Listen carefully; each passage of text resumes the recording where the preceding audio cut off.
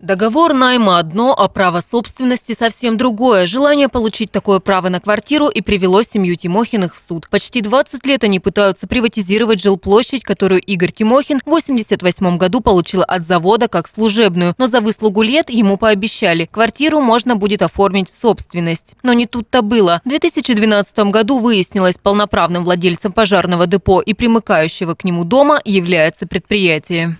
В плане приватизации, как я уже говорил, скрыли не только статус жилых помещений, но и наличие в них проживающих и зарегистрированных граждан. Также о том, что помещения нежилые, следует из акта оценки. Представитель Тимохиных в суде утверждает, оценка здания на Вайнера-6 была произведена без выезда. То есть в планах приватизации нигде не указано, что объект был осмотрен. Несмотря ни на что, ответчик уверяет, люди хотят присвоить себе то, что не может называться жильем. Земельный участок, расположенный у пожарного депо, не относится к жилищному фонду.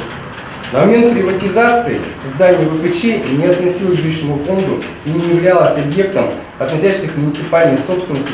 Между тем, жители дома на Вайнера, а это более 10 семей, прописаны в доме. В квартирах сделан ремонт, и люди оплачивают коммунальные услуги. У нас есть такое понятие э, балансодержатель. Если вселение граждан происходит согласие балансодержателя, оно является законом. Смею отметить, что ранее все находилось в госсобственности. И э, распоряжение, пользование, владение имуществом было через балансодержателя, через завода, которого я обслуживала военизированная пожарная часть. Но все аргументы истцов оказываются бесполезными. Судебное разбирательство, которое длится больше трех месяцев, заканчивается не в пользу Тимохиных. Суд решил заявленные требования оставить без удовлетворения.